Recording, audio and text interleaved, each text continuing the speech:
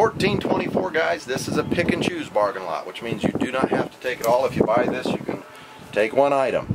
But uh, there's there's a little bit of recycling. There's pipes, there's parts, there's totes and tubs, Toro lawnmower, rototiller, some some a couple of old doors from old pickups.